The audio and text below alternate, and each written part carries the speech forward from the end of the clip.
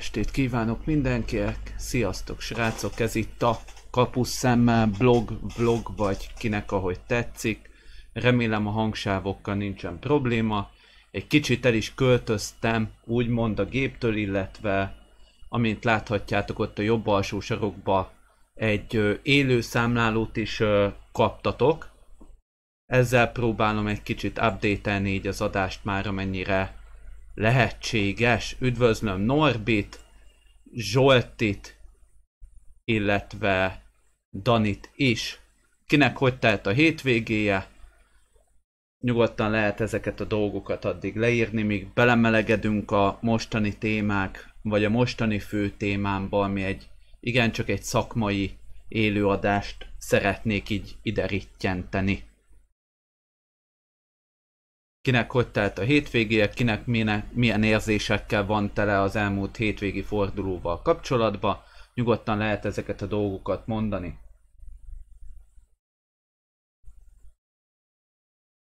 F1 gyakorlás non-stop. Hmm.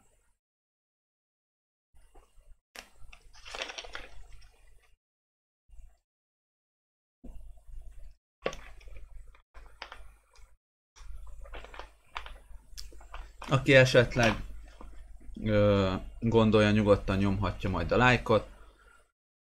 Lehet, hogy néha egy picit lefele fogok tekinteni, az ö, természetesen azért van, mert egy újfajta ilyen billentyű kombinációval próbáltam feldobni a dolgokat, hogy ne kelljen annyira az egérrel szórakoznom, állandóan meg állandóan jobbra tekintenem. Néha lesznek bakik, ezt nézzétek el, de ö, ez is úgymond a gyakorlás része számomra.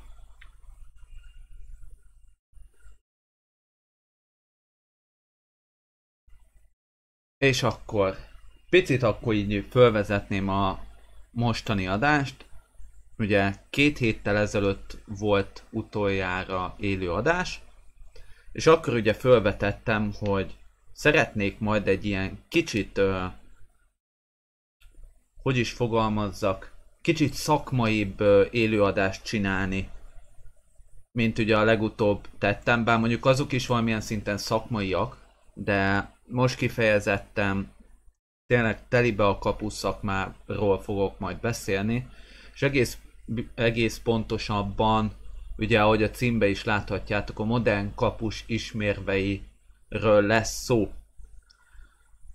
Ugye kicsit korábban is kezdtünk, pontosan nem tudom, hogy milyen hosszúra fog majd sikeredni ez az élő adás.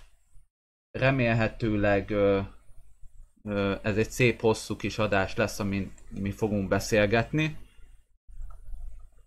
Úgyhogy nagyon re- ö, remélem ti is majd velem fogtok tartani ez alatt a hosszú beszélgetés alatt. Természetesen folyamatosan jöhetnek majd a kérdések, észrevételek, hang, vagy hangilag bármivel kapcsolatban jöhetnek majd az észrevételek. Miközben újra megosztom a linket a Facebookon, hogy vagyis a saját profilomon, hogy élőadás van.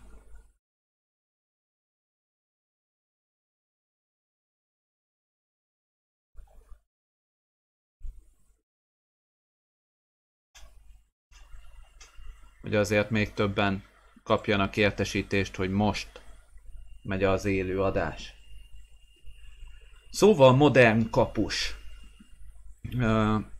Eléggé érdekes ez, a, ez a fogalom, mint maga az, hogy modern kapus. Azért mondom, hogy elég érdekes, mert ugye azért látni kell azt, hogy merre fele megy a kapusok kiválasztása, az irányvonalak merre felé tartanak, mi a célja a fut, ugye a legfontosabb ugye azt tudni kell, hogy ugye ez Ferenci Attila is többször hangoztatta, hogy a kapus stílusát meghatározza a csapatnak a stílusa. Tehát ahhoz, hogy egész pontosan tudjuk és lássuk azt, mifelé fog majd, vagy mifelé tart a magyar, vagy alapvetően a modern kapusnak a, az ismérvei, hogy milyen stílusba fog majd egy kapus védeni, egy modernkori kapus, az ugye nagyjából látnunk kell, hogy egy a modernkori top futball mit kíván. Ugye itt ezzel kapcsolatban ugye el lehet azt mondani, hogy ugye mindenféleképpen az a céljuk, hogy ugye a földön való játékot szeretnék elsőlegesen erősíteni. Tehát ugye az a cél, hogy földön próbáljanak játszani a csapatok, ugye rengeteg mozgással, nem mozgással. Most ezt csak így próbálom egy kicsit konyha nyelvre lefordítani mindenki számára. Ugye magasan föltolt védekezéssel a labda legyen nálunk, abból próbálja meg kihasználni ugye az ellenfélnek a, a hibáit, akár helyezkedési, akár egyéb uh, hibákat. Úgyhogy ebből fakadóan ugye vannak elvárások a kapusokkal szemben. Ugye hétköznap múlt héten? Nem, ezen a héten. Most így picit nem vagyok képbe, azt hiszem ezen a héten szerdán volt a semleges térfélnek egy nagyon érdekes külön kiadás, ugye a menesztett Bódog Tamással, ha szeretnétek, akkor erről is majd fogok véleményt formálni. Mindegy, a lényeg az, hogy ugye föltettem az adáson belül egy nagyon érdekes kérdés Bódognak, hogy ugye mi volt a célja a, a kapusokkal kapcsolatban, ugye a csapatnál volt egy meghatározott irányelv, és érdekelt az, hogy a kapusokat nézve, kapusokat tekintve, mi ugyanez az irányelv. Vagy van-e konkrétan meghatározva valami, illetve hogy a kapusok mennyire tudtak ö, beleilleni ebbe a rendszerbe? Ugye közben Orbéri a csütörtökön volt, nem szerdán, és hogy mondjam el a véleményemet az, az adásról. Az adás maga tetszett, és ö, azt valószínűleg Bódog személye is jelentette azt, hogy szerintem rekordmennyiségű élő nézője volt semleges térfélnek, és Bódog csak ugyanolyan szimpatikus volt, mint, mint amit ugye az nyilatkozataiban láttunk. Egyenes, nem beszélt mellé, nem akart ö, fölösleges lúzongokkal dobálni a, nézőket, illetve a szurkolókat, ugyanúgy egyenes volt, ugyanúgy elmondta véleményét, és ugye a kapusokkal kapcsolatban ugye ő azt mondta, hogy olyan kapusok, vagy ö, olyan kapus szerepel az ő fejébe, ugye ami a csapatához illik, hogy ugye kiebb helyezkedik a kapuból, ugye bejátsza a magasan feltolt védelem ö, magasan feltolt védelem mögötti területeket, ugye lábbal magabiztos, ugye ehhez ugye azt is hozzá kell tenni, hogy ugye ez egy mozgékony kapusra van szükség, illetve egy magas játékintelligenciával rendelkező kapusra, és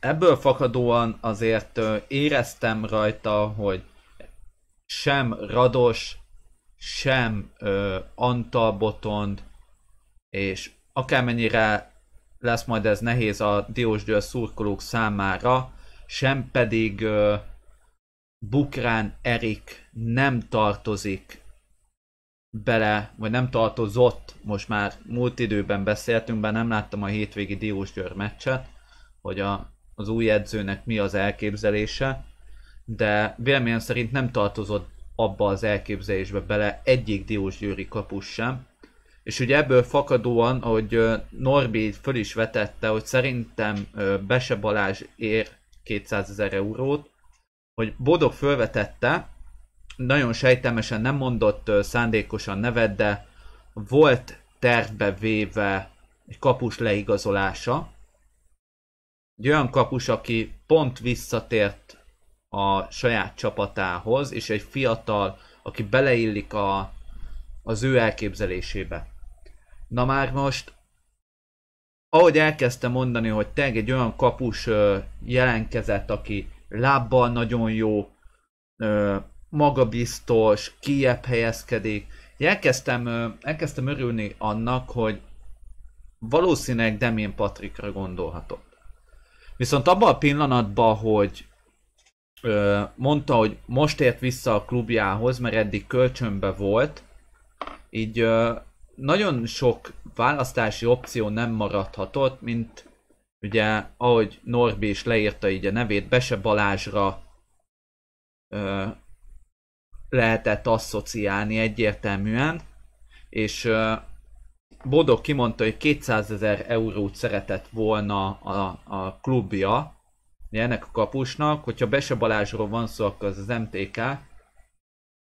Én viszont nem értek ezzel egyet, és szerintem nem ér ennyit. Bár, hogyha most kiszámolom, 200 ezer euró, cirka 300 hogyha én elkezdek szorozgatni, akkor az olyan 60 millió forintnak felel meg. Hogyha én jól számolok. 2000, ugye az már 2 millió, 20 milliószor 3, 60. Tehát 60 millió ö, euró. Vagy 60, 60 millió forint. Szerintem ennyit nem ér meg a Bese Balázs. És arról nem beszél, hogy szerintem ne, ő nem ilyen stílusba véd, mint ami, ami Bódognak megfelel. Úgyhogy nem tudom igazság szerint mi az oka, vagy mi a, a, a miért pont Bese. Mert igazság szerint ugye én, én nem láttam őt védeni, meg ugye a korosztályos válogatottakban se láttam őt védeni. Tehát lehetséges, hogy ő egy olyan, olyan kapus, mint a Demjén Patrik, de nem tudom. Tehát nek, szerintem túlzás 60 millió forint egy ilyen uh, kapusért. Bár mondjuk a 200 ezer euró az úgy abból kiindulva, hogy abból kiindulva, hogy mondjuk Gulácsi ér 7 milliót, abból fakadóan azért az egy eléggé reális érték szerintem. Magyarok közül ki illene bele? Magyar kapusok közül aki képes megjátszani az ezek, vagy megjátszani azt, az szerintem a Demén Patrik.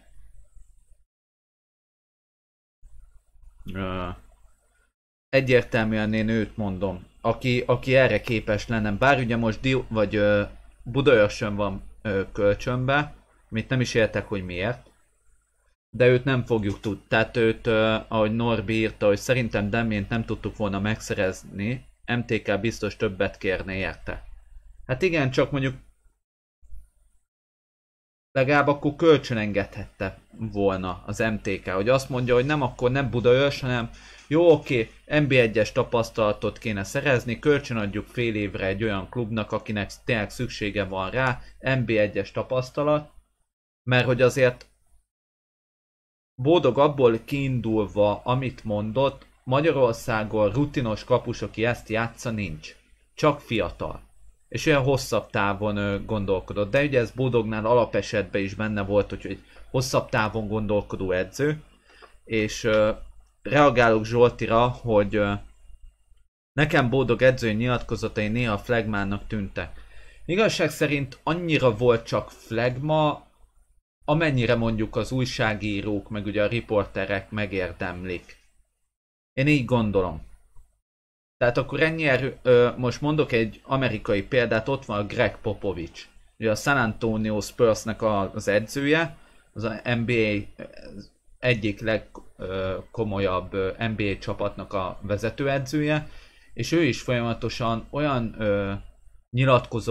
nyilatkozatokat, tesz, amin elgondolkodik az ember, hogy most ezt most ez miért? Meg minek? Meg, meg, meg miért? És olyan flagma, kicsit lekezelő, mert nem szeret nyilatkozni.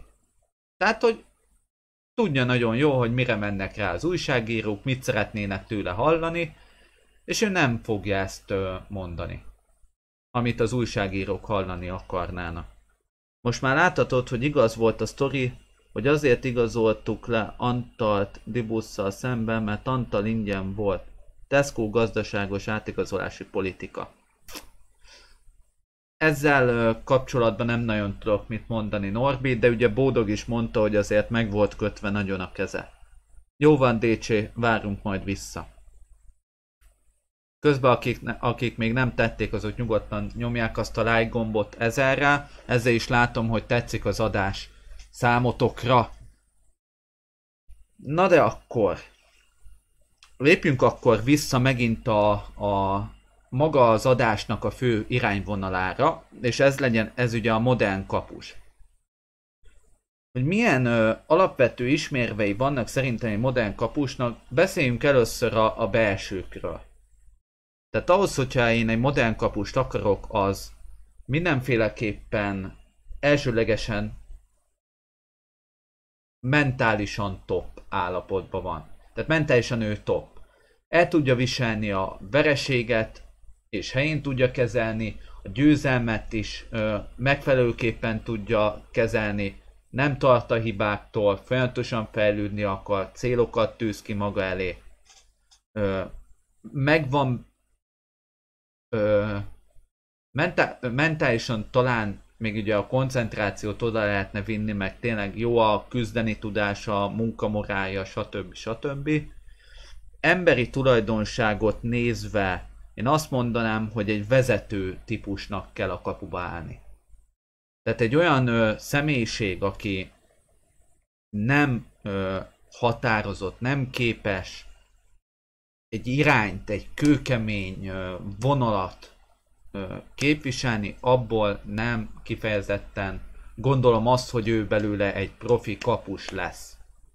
Én ezt így, így gondolom még milyen emberi tulajdonságok lehetnek? Kommunikatív. Tehát ö, kommunikáció, mondjuk a, ve- a, a vezéregyéniségetnek ugye az az egyik, ö, nagy, egyik jó ismérve, hogy tudnak kommunikálni. És ö, szeretnek is. Mindemellett ugye intelligensnek kell lennie, tudnia kell azt szerintem, hogy miként szóljon hozzá a társához. Ugye nem mindegy, hogy ö, úgy kommunikálok vele egy olyan ember, egy olyan mondjuk belső védőnek, akiről tudom azt, hogy ha rájövök, tehát hogyha tudom azt, hogy csak akkor tud jobban odafigyelni, hogyha egy kicsit erőteljesebben rájövöltök, akkor hozzá nem úgy fogok szólni, hogy édes pici drágaságom, légy szíves, ott a jobb kezednél van egy nagyon csúnya gonosz ellenfél, és ahhoz menjél már közel, mert nem szeretnénk, hogyha gólt kapjunk.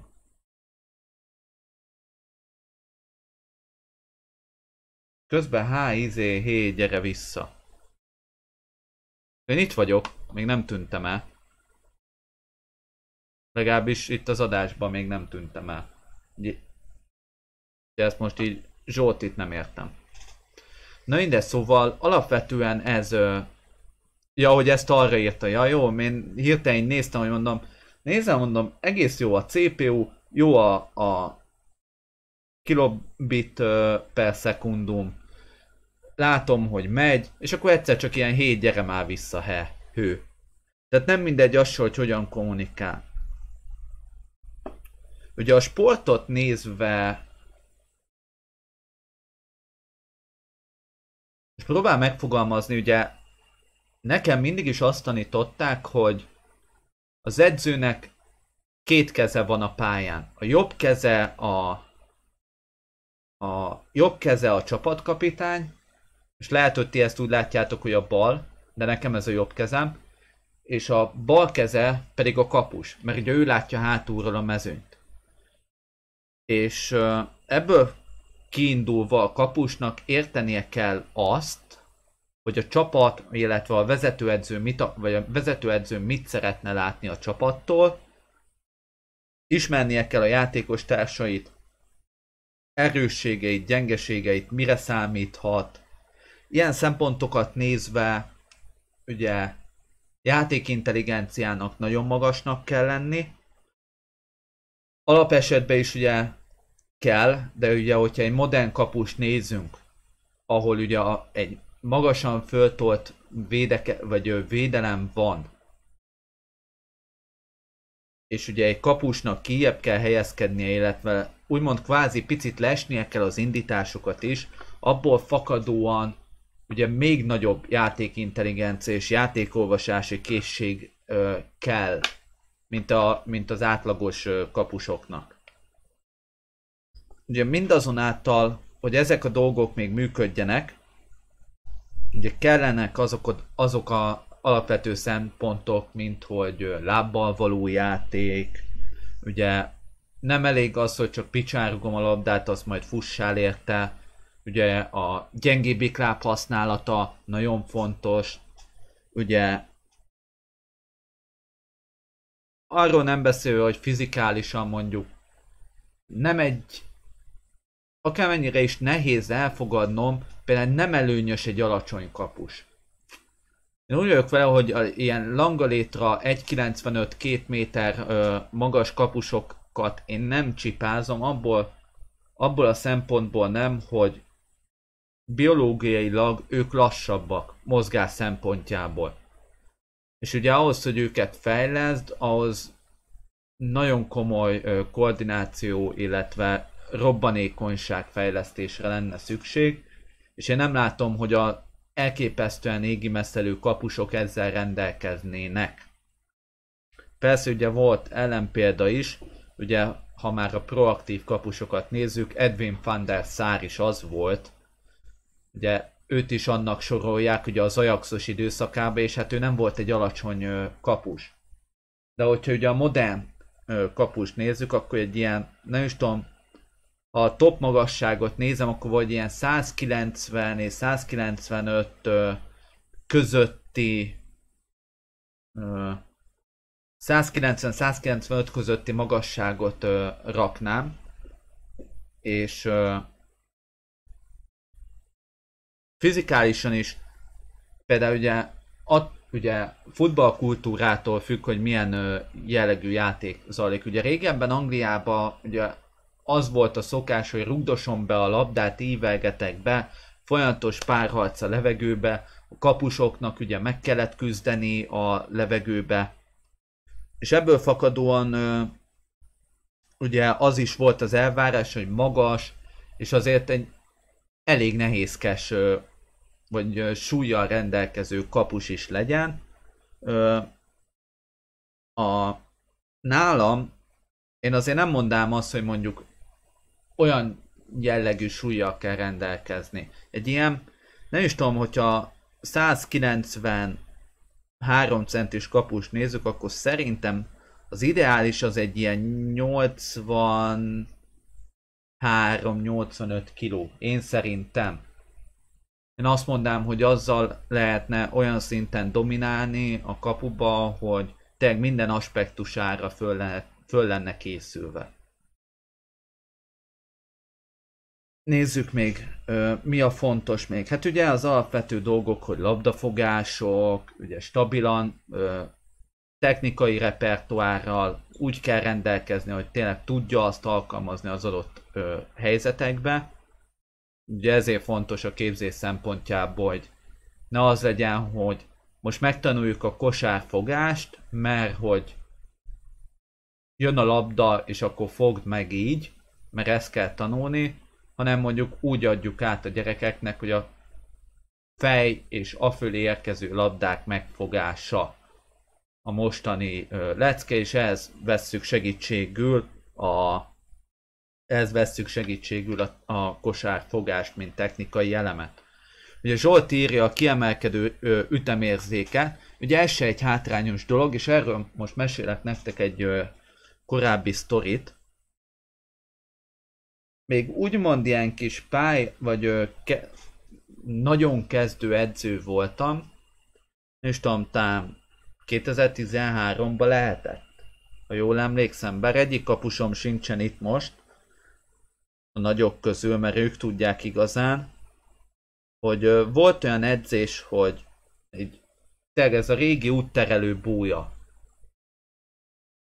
volt, és letett, vagy ö, a teteje lyukas volt, és azt csináltam, hogy betettem egy, egy uh, instrumentál zenét. Tényleg egy olyat, ami kicsit ritmusosabb, nem uh, full pörgős, viszont megad egy uh, általános belső ritmust.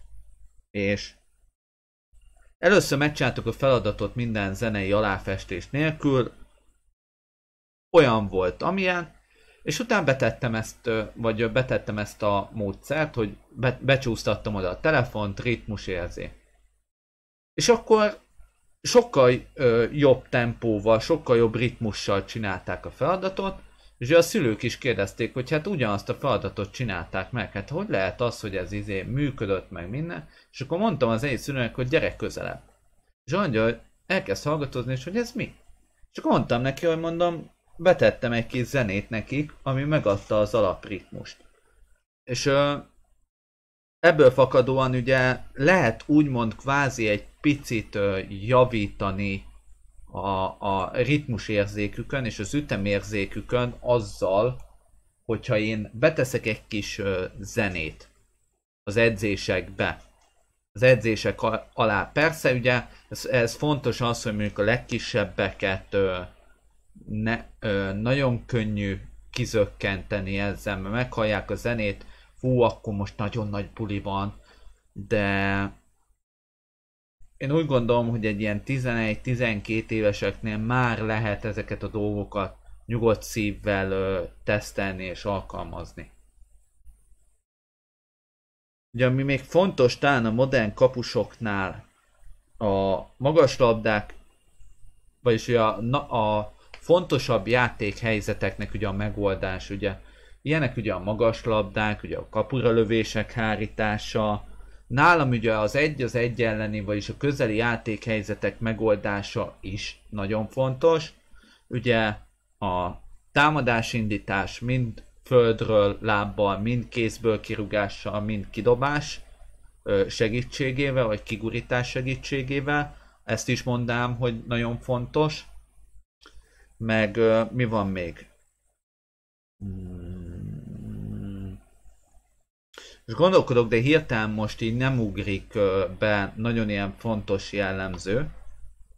Úgyhogy majd, hogyha valakinek még van ötlete, az nyugodtan írja le. De én nagyjából így ezeket tudnám én így összeszedni.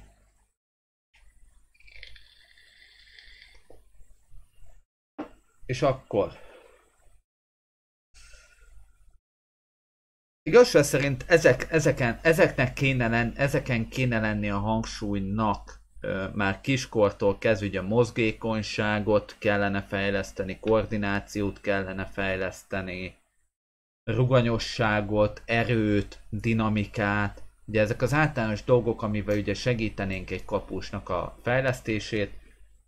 Ugye én még arra is rájöttem, még mielőtt ugye mentem volna Győrbe a szakmai túrámra, hogy szerintem a futcát igenis bele lehetne építeni a kapusok fejlesztésébe valamilyen szinten. És ugye Győrbe ö, meg is kaptam ezt a visszaigazolást ezzel kapcsolatban, hogy, hogy, hogy az, élet, az adott kapus edző is azt mondta, hogy igenis szerinte is fontos lenne a futcát beépíteni valamilyen szempontból a kapusok képzésébe.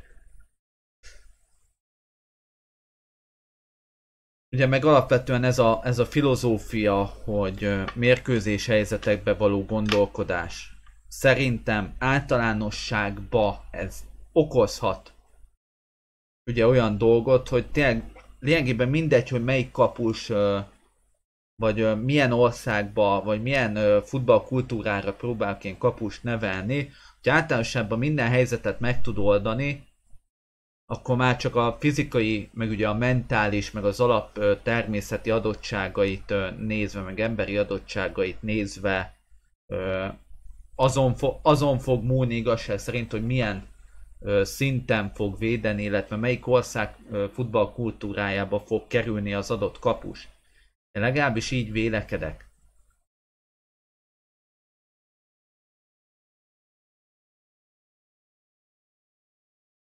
Közben jöhetnek a kérdések nyugodtan ezzel kapcsolatban, hogyha valamiről beszéljek esetleg bővebben, Zsolt is nyugodtan kérdezhet. Már mondjuk ő alapvetően is szokott kérdezni. Norbi is esetleg, hogyha egy ilyen szurkolói szemmel ö,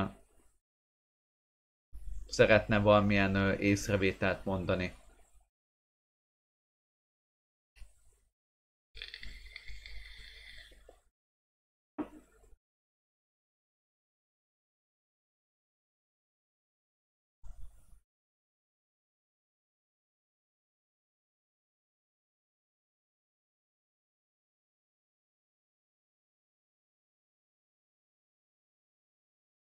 Kirugások fejlesztése érdekelne. Ö, kedves Zsolti, kirugást ugye alapvetően van fönt ö, Youtube-on különböző tutoriálok, ö, egy olyan technikával, amivel ugye pontosan lehet ívelni földről. Nem tudom, hogy földről vagy kézből ö, gondolod ezt. Ezt azért még írd le, miközben vagy addig válaszolok Norbira, hogy Magyarországon mondhatjuk, hogy modern kapusok védenek? Vagy még ebben is le vagyunk maradva? Én azt mondom, hogy le vagyunk maradva, mert mi a tek, mert mi, hogy Ferenci Attila is mondaná, hogy a magyar edző analizáló gondolkodású, tehát ő, ő mindennek a tetejébe helyezi a technikai elemet.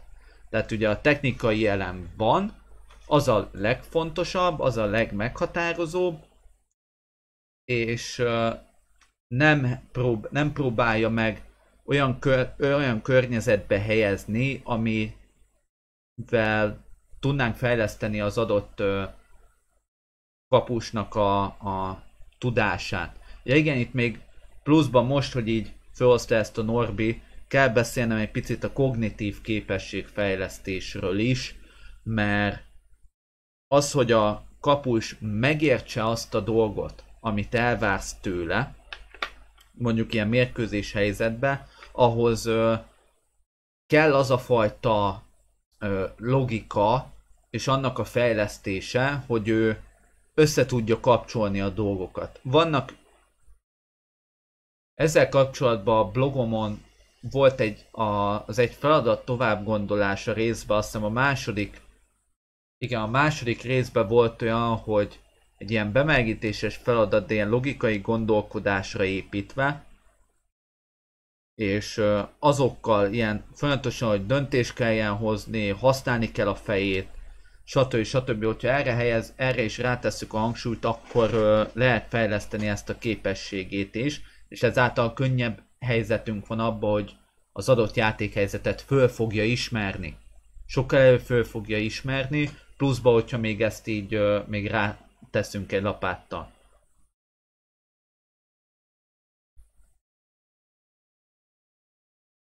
kézből hagyományos labdafeldobásos kirugás, az ejtéses és a dropli kirugás majd később. Ezzel kapcsolatban nekem egy olyan, úgymond kétféle ilyen módszert mondtak el nekem, az egyik az az, hogy mindenféleképpen ugye a legfontosabb az az, hogy tudja azt, hogy hogyan, hogyan akarja rugni. Ugye a, a kézből kirúgásnak is most, hogyha megszámolom, van ugye a teljesen old school, ugye amikor mondjuk, hogyha a jobb lábas kapus rúg ki, akkor jobb kézzel dobja föl a labdát. Tehát jobb kézzel indítja az egészet, jobb kézzel rúgja el. Ilyen volt uh, Brett Friedel amúgy, hogyha Zsolti így emlékszel rá, ha, ha aki megköveti, az majd visszanézi, hogy kiről is beszélek. Ő volt az a kapus, aki azonos oldali kézzel szerette elrugni a labdát. Ugye van az úgymond hagyományos, amikor ugye a bal kézről, vagy bal kézzel indítom a kirugást, és ugye jobb lábbal rugom el és nem fordulok el, úgymond egy kicsit magam elé ejtem a labdát. Ugye van a drop, a dropli, ugye a dropból való kirugás, amikor ugye a labdát azután rúgjuk el, vagy abban a pillanatban rúgjuk el, amikor éppen, hogy fölfele, vagy a lepattanás követően fölfele ágba van a labda, és ott is a testünk elől rúgjuk el. És ugye van a van ugye ez a dél-amerikai változat, ugye ez a félkapás nevezetű kapus kirúgás, amikor tényleg teljesen elfordulva élesen lövöm el a labdát a, a kirúgás szempontjából. És ugye legtöbben ezt szeretik alkalmazni, mert hogy ez ugye gyorsabb, pontosat lehet rugni. És hogy hogy lehet ezt fejleszteni? Ugye az elsőleges az, hogy az illető kapusnak kialakuljon egy ö, ilyen ö, rugásfajta. hogyha mondjuk a dél-amerikai változatot szeretné valaki elsajátítani, akkor ahhoz kell egyfajta hajlékonyság. Mert ugye az tényleg teljesen ilyen, ö, nem is tudom, hogyha most így elképzelem, akkor egy ilyen csípő derék magasságig föl kell tudnia emelni a, a lábát, hanem följebb. És ugye ahhoz hajlékonynak kell lenni. Ha ez megy, ugye mindenféleképpen egy kapu előtti területen kell, gyak- tehát mindenféleképpen úgy kellene gyakorolni, hogy labdafogó háló vagy egy futballkapu előtt, közvetlen előtte. Hogy ugye ne kelljen azzal szenvedni, hogy állandóan elmegy a labda. Ugye, hogyha a félkapást választ, ugye a legfontosabb az egésznek az, hogy álló helyből gyakorolja. Tehát, hogy semmi ö, mozgással előtte, semmi egyéb ö, plusz mozdulatta, csak maga a labda elengedése és a labda elrugása. Utána, hogyha ez megy, akkor lehet az, hogy még előtte beleteszem a kitámasztást. Tehát... Igen. De előtte lehet az, hogy a kitámasztása, hogy már előtte lépek egyet, kitá- vagy ö, földobom, kitámaszt, bum, lövöm. Utána lehet az, hogy egy-két lépés, és utána lehet szépen ö, alakítani azt, hogy milyen távot akarok, ugye.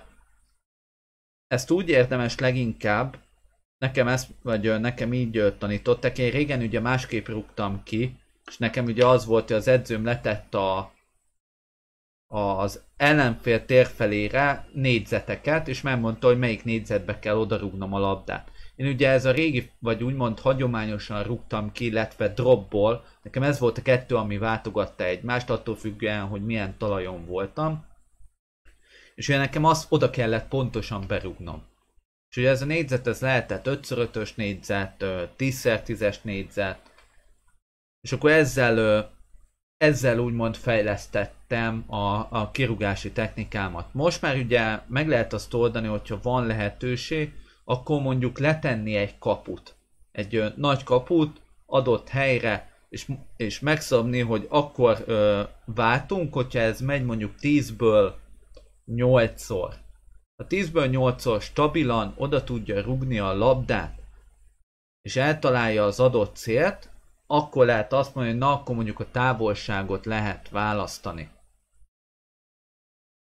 Ugye ez csak egy oldal. Utána lehet ugye ö, megpróbálni azt, hogy távot tud rugni, és utána lehet mondjuk ezt a döntéshozatalost, hogy mondjuk csak tartja a labdát a kezébe, jobb vagy bal kezénél van kapu, akár egyenlő távolságra a kapustól, akár az egyik közel, másik távolabb, ez tényleg ugye a szintől és az edzőnek a gondolkodásától függ, és abból fakadóan lehet ö, ö, mondani azt, hogy jobb, azt rúgja, bal, azt rúgja. Ugye lehet ezt variálni, én a, az utóbbi időben a kapusokkal, a labda le, vagy az U14, U15-tel a labda lehúzás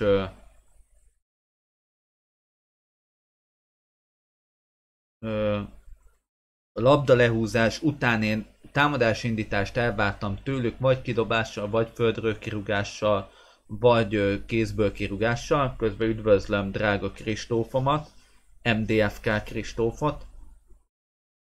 A hagyományos kirúgás gyakorlásánál a hálónál a nagyjából 45 fokos labda elrúgása az megfelelő? 45 fokos szög. Igazság szerint, ha jól emlékszem, igen. Hogy az a jó. De 45 fokos szögben megy a labda.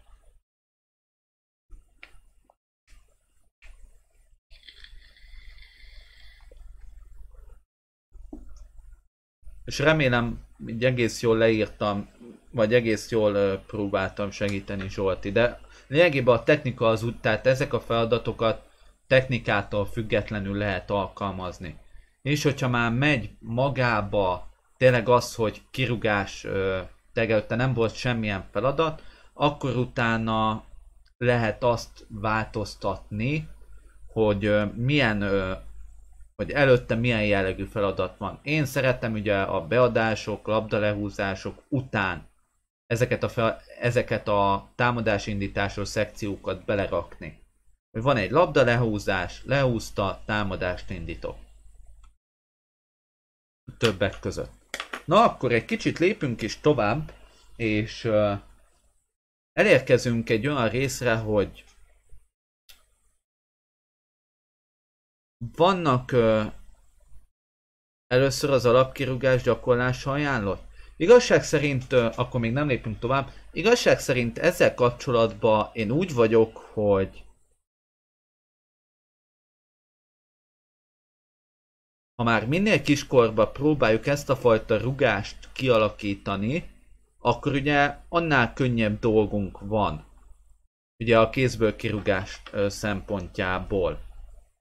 Persze ugye az alapkirúgást, a hagyományos kirúgást nagyon könnyű ö, kialakítani, azt akár meg lehet oldani, hogy tényleg az legyen az elő ö, huszá, vagy a felvezetése, hogyha mindenféleképpen kell kirúgás, akkor az alapkirúgás legyen. Bár mondjuk én ugye az én filozófiámban ugye a 8-9 éves kapusoknál nem is várok el kirúgást, tehát én azt nem szeretem. Meg ugye egy, nem is lehet átrugni a félpályát, kettő meg nem ö, alapvetően az én filozófiámba se illik bele az, hogy a kapus mindenáron kirúgdossa a labdát.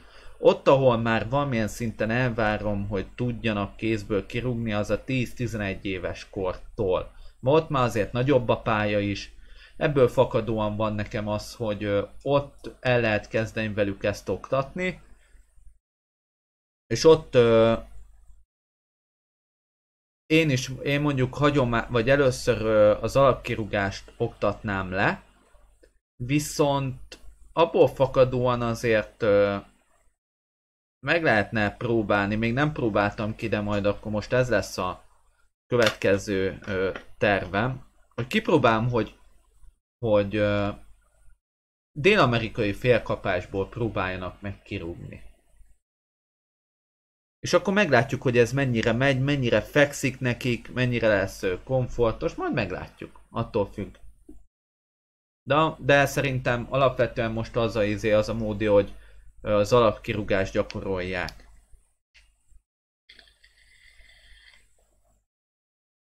Na akkor egy kicsit lépek is tovább a, a köszi a válaszokat, igazán nincs még Zsolti.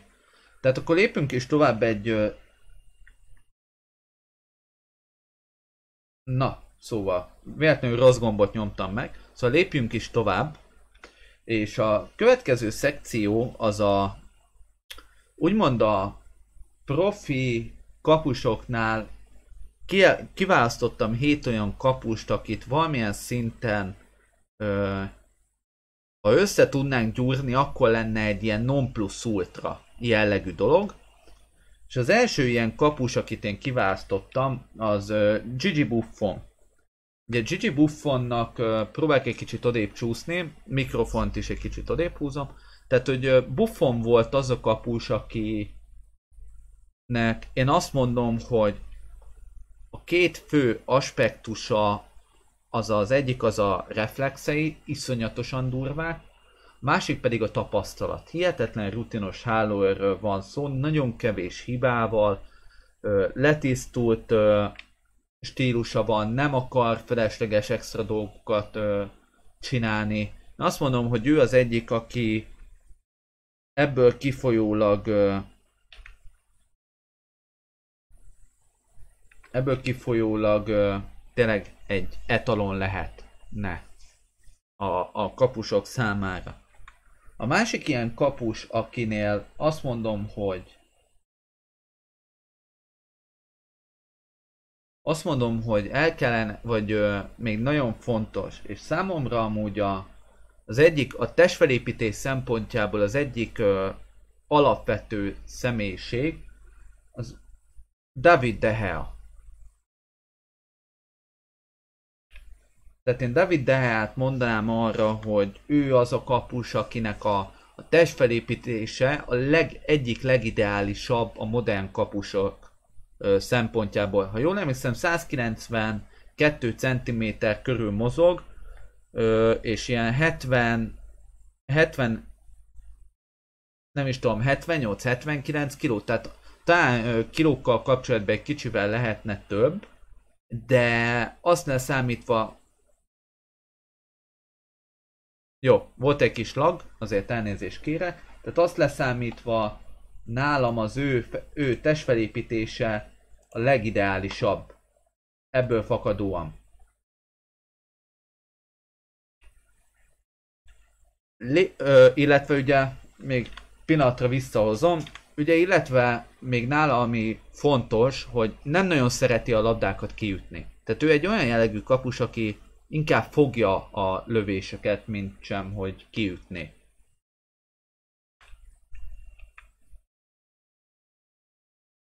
Na.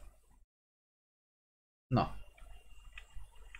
Szóval, következő kapus, aki ö,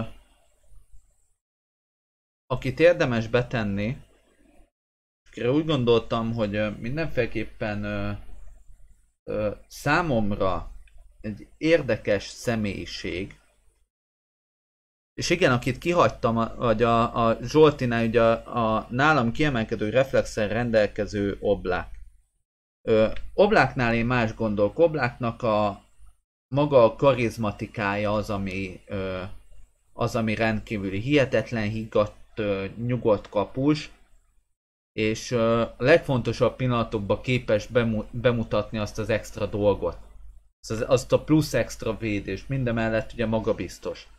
Ugye talán, hogyha bele lehet kötni a mostani adásba, az talán az ő személye, hogy őt nem tettem bele viszont megemlítettem, úgyhogy talán ennyire, ennyibe azért megúszom a dolgokat.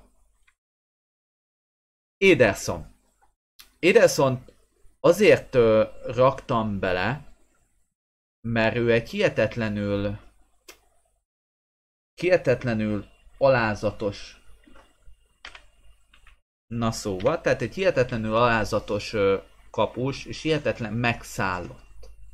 Tehát én amit olvastam és néztem, ugye amikor volt ugye ez a fejsér, vagy ugye sérülése, szinte alig volt hajlandó kihagyni edzéseket, és hihetetlen nagy munkamorálja van. Ugye ez valószínűleg azért, mert dél-amerikai kapusról beszélünk, és hát ami, amiért ugye dél-amerikai kapus, hihetetlen atletikus. Tehát nagyon gyors, nagyon jó ö, kapus, nagyon mozgékony, tehát nekem ő, ő ebből a két szempontból egy, egy úgymond kiemelkedő kapus nálam. Lépünk tovább. A négyes kapus alapvet a negyedik számú kapust, akit úgymond még beleraktam, nem a kedvencem. Nem a kedvencem, azért nem a kedvencem, mert ö, technikailag én nem ö, csípem őt. Tehát nekem ő, ő nem egy nem egy ö, ö, extra kapus nálam, viszont az az alázat és az a az a szenvedély, amit ő képes ö, belevinni a, a védésekbe, és már maga a, a kisugárzásával, az tényleg egy plusz. Pluszt adhat, ugye ő Keylor Navas, ugye az elhivatottság ezért van itt, mint erény, szerintem, illetve ugye a mozgásgyorssága, ő is ugye a dél-amerikai kapus iskolának az egyik ö, ö, kiemelkedő alakja, ő, és szerintem őt is ebből a szempontból úgymond ide lehetne ö, tenni. Tényleg, én azt mondom, hogyha egy modern kapust akarok uh, gyúrni, akkor őt én ide sorolnám. Pluszba.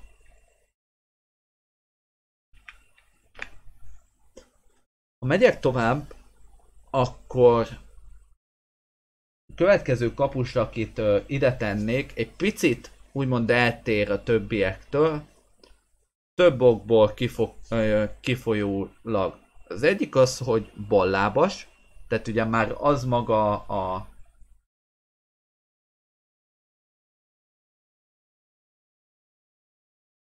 Itt lesz majd egy elírásom, tehát fölkészítek mindenkit, itt lesz egy elírásom, mert nem a reflex a jó nála, hanem én úgy gondolom, hogy a, vagy a, nem a reflex a kiemelkedő, hanem az, hogy ballábas, abból kifokadóan Courtois ugye egy egyéniség, illetve mivel iszonyatosan magas, a légteret hihetetlen lazasággal uralja,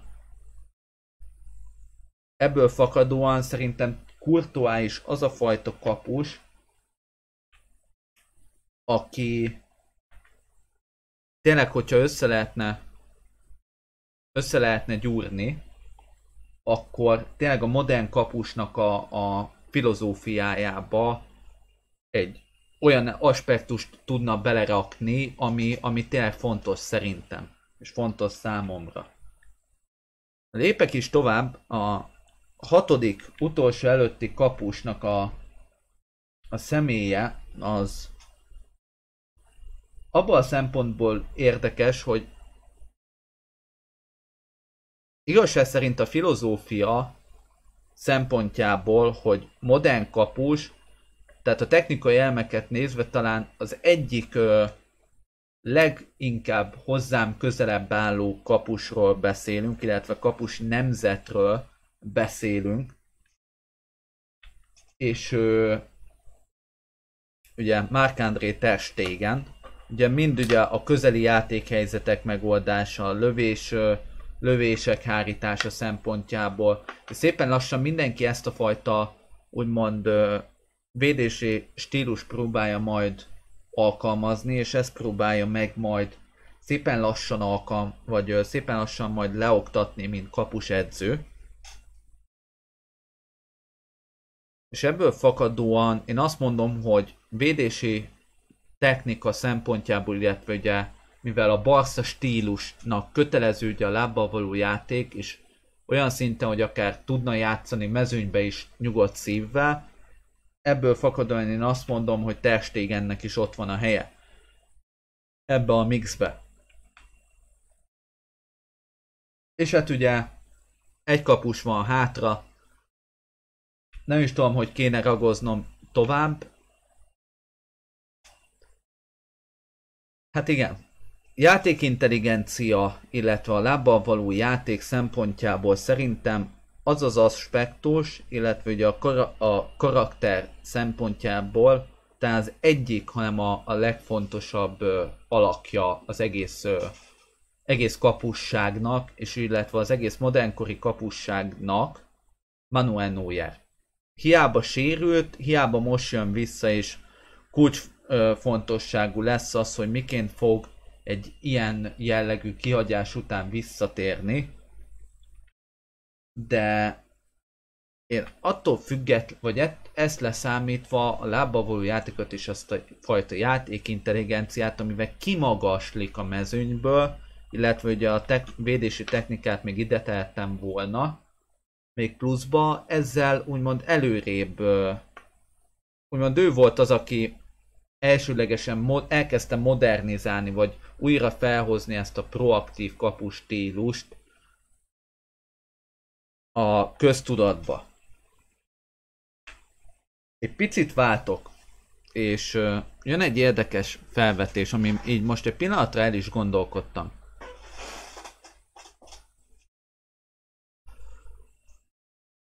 Lehet-e mozgató rugója proaktív uh, kapus stílus a, modern kapustílust nézve. Tehát, hogy gondolom-e azt, hogy, a pro, hogy az, hogy valaki pro, hogy minden proaktív kapus beletartozik a modern kapusokba, vagy minden modern kapus ugye proaktív kapusként játszik-e vagy sem. Én azt mondom, hogy a proaktív kapus sokkal több kockázatot vállal be, mint mondjuk, mint amennyit adott esetben kellene. Én ezt mondom. Tehát a modern kapus az, az ebből a szempontból egy kicsit kevesebb kockázatot vállal be, kicsit konzervatívabb, nem fog, mind, nem fog az esetek 90%-ába kirongyolni a kapuból, hanem inkább olyan labdákat játszik meg, ami nem, aminél sokkal nagyobb esélye van arra, hogy ő megszerzi. De nem fog a gólvonalon állni, ugyanúgy fogja lesni az indításokat véleményem szerint, viszont az ilyen necces labdákba nem fog belemenni, mint mondjuk belement, vagy belemegy ugye Manuel Neuer adott esetbe. Mi a véleményem Alisonról, a Róma kapusáról? Rengeteget fejlődött az elmúlt egy évben. A Róma megfogta szerintem vele az Isten lábát. Én ezt mondom, ugye dél-amerikai kapus, egész pontosabban Brazília. Én úgy gondolom, hogy a brazil kapusiskolának hál' Istennek megint van két olyan kiemelkedő alakja, akik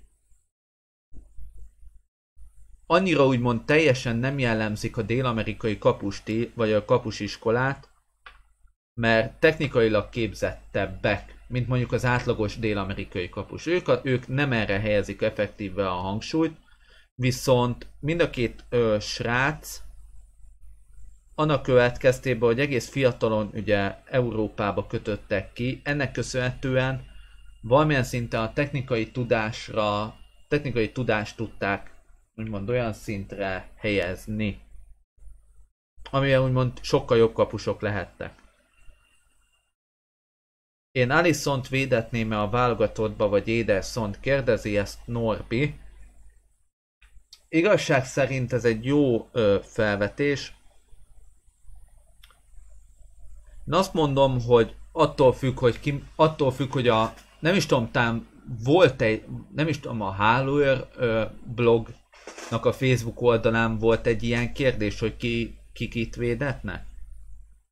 Hogy forma alapján ö, ö, forma alapján én azt mondom, hogy Alisont kellene. Viszont itt függ attól, hogy a brazil ö, szövetségi kapitány, illetve a brazil válogatott mit szeretne játszani. Mert hogyha egy olyan kapus kell, aki mozgékonyabb, bátrabban kilép a kapujából, akkor Ederson, ha olyan kell, aki inkább stabilabb hátul, és be tudja mutatni még pluszba emellé az extra plusz védéseket, illetve jobb a formája, akkor meg Alisson. De ahogy Zsolt írja, mindenképpen valamilyen szon. Tehát uh, szon-szon.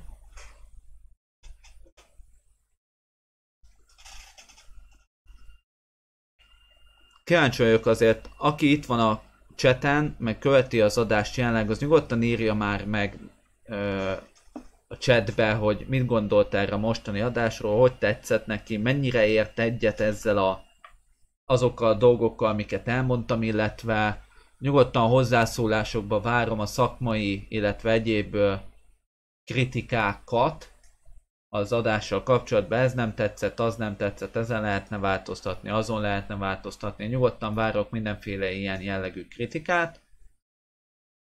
Nálam is Alisson védene, és nem csak a United szurkoló nem mondja. Hát igen, így el lehet kételkedni abba, hogy Norbi szavába most mennyire értünk egyet, mennyire szurkoló, mennyire nem. De jelen áll szerint tényleg, hogyha a formát nézem, akkor Alisson. És akkor egy picit már ö, szerintem úgymond így a záró akkordra me- mehetnénk át. Bocsánat, csak közben itt én nyomogatom. Ö, nekem tetszett, szeretem, amikor szakmai az adás. Zsolti, hogyha van úgy ötleted, akkor nyugodtan írd meg esetleg, a köve, hogy ö, következő úgymond ilyen szakmai témával kapcsolatban. Nyugodtan megcsinálom. Esetleg lehet arról is szó, hogy ö, bizonyos technikai elemeket én hogyan fejlesztenék. Tényleg nyugodtan lehet akár ilyen jellegű ötleteket írni itt fölül megtalálhatjátok itt a fejem fölött a Facebook, Instagram, illetve a Tumblr ö, elérhetőségeket. Ha tetszett az adást, én várom a lájkokat. Ha na, ha van valami észrevételed, hozzászólás rovatba, kicsit beszaggattam megint. Ha van észrevételed, hozzászólás rovatba várom szeretettel ha ötleted van, azt is várom szeretettel, mind az elérhetőségeken, mind pedig a, mind pedig a hozzászólások rovatba. Ha szeretnél támogatni, lent a leírásba megtalálható a Patreon oldal, nem tudom, hogy működik-e. Azt is majd próbálkozom az élőadás után ö, ö, az élőadás után megnézni, hogy működik-e. Csak egy lájkot ö, tudok nyomni. Az egyik külföldi youtuber azt mondta, hogy iratkozz föl, vagy 8 millió ö, hamis ö, 8 millió hamis fiúkkal, és akkor mehetnek a lájkok szépen sorba. Én nem várom el. De szeretném mindenkinek megköszönni a figyelmet. Egy vagy két hét múlva találkozunk, azt majd a Facebook oldalon megtudjátok, kövessétek a Kapus Szemmel blogot legyetek jók és rosszak. 8 órától jön a semleges térfél élőadása, egy egyszer volt, hol nem volt mese jellegű történettel, illetve ha jól láttam, reakció lesz Csányi Sándornak a, a mondataira, illetve lesz, lesz ugye egy forduló kibeszélő, elképzelhető, hogy velem is fogtok találkozni ott. Legyetek jók, a kapuslabda legyen veletek, Sziasztok!